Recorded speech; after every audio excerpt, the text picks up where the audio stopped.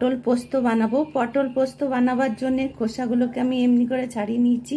আর এইখানে অল্প কেটে নিয়েছি এদিক থেকে, আর এদিক থেকে কেটে নিয়েছি। দুধারে মাঝখানে অল্প করে কেটে নিয়েছি। আমি পটলগুলোকে এভাবে ছাড়িয়ে খোসা, এইভাবে খোসা ছাড়িয়ে কেটেছি। তাহলে ভেতরে, পটলের ভেতরে পোস্ত বা মশলা যেগুলো দেবো আমি সেগুলো যেন ভালো করে ঢুকে যায়। মিক্সিং জারে পোস্ত নিয়ে নিয়েছি চার চামচ আর তিনটে কাঁচা লঙ্কা নিয়েছি এবারটা আমি মিক্সিতে পেস্ট করে নেব। কড়াইটা গরম হয়ে গেছে এবার আমি এতে সর্ষের তেল দিয়ে দিচ্ছি। সর্ষের তেলটা গরম হলে আমি পটলগুলো লাল লাল করে ভেজে নেব।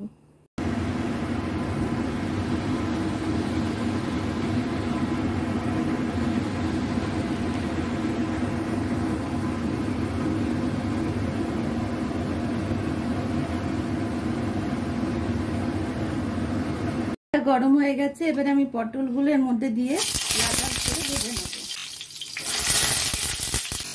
আমি পটলগুলোতে অল্প পরিমাণে হলুদ দিয়ে দিলাম। পটলগুলোকে একটু লাল লাল করে ভেজে নেব। অল্প পরিমাণে লবণও দিয়ে দিলাম আমি এতে। এবারে পটলগুলোকে ভালো করে লাল লাল করে ভেজে নেব আমি। আমার লাল লাল করে ভাজা হয়ে গেছে, এবারে এগুলো আমি একটা থালার মধ্যে তুলে নেব। আমার কড়াইটা গরম হয়ে গেছে, আমি আর একটু তেল দিয়ে দিয়েছি, এবার এর মধ্যে দিয়ে দিচ্ছি আমি কালো জিরে, দিয়ে দিচ্ছি আদা আর কাঁচা লঙ্কা। আদাটাকে আমি বেশি পোড়াবো না, একটু ভেজে নিচ্ছি, আমি এতে পোস্ত বাটাটা দিয়ে দিচ্ছি। পোস্তটা আমার দানা দানা হয়ে গেছে, এবার আমি এর মধ্যে পটলগুলো দিয়ে দেবো। দানা দানা টেক্সচারের মধ্যে আমাকে পটলগুলো ছাড়তে হবে।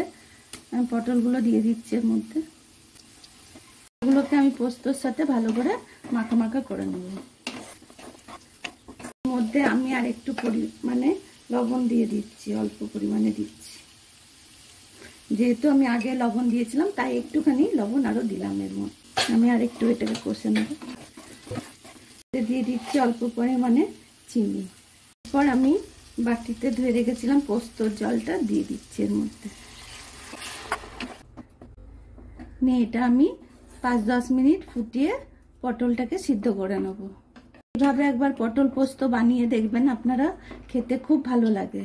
আর আমার এই রেসিপি যদি আপনাদের ভালো লাগে, তাহলে আমার চ্যানেলটাকে সাবস্ক্রাইব করবেন লাইক করবেন শেয়ার করবেন কমেন্ট করবেন, পাশে থাকা বেল আইকনটা অবশ্যই প্রেস করে দেবেন। তাহলে আমি নতুন নতুন রেসিপি দিলেই আপনাদের কাছে শীঘ্রই পৌঁছে যাবে। তাহলে আমি এটা পাঁচ, দশ মিনিটের জন্য ঢাকা দিয়ে দিই। আমার এই পটলগুলো সিদ্ধ হয়ে যাক আর এর পোস্তটাও একটু ঘন হয়ে আসুক। তারপরে আমি গ্যাসটা অফ করব। ঢাকনাটা খুলে দেখি আমার পোস্তটা হয়েছে কিনা। পটল পটল পোস্ত আমার একদম রেডি হয়ে গেছে। একদম শুকনো শুকনো হয়ে গেছে। চলুন তাহলে গ্যাসটা অফ করে এটা নামিয়ে নিই। পোস্ত আমি গরম ভাতের সাথে গরম গরম সার্ভ করব। খেতে দুর্দান্ত লাগে পটল পোস্ত। একদম ঘন এরকম হবে পটল পোস্তটা।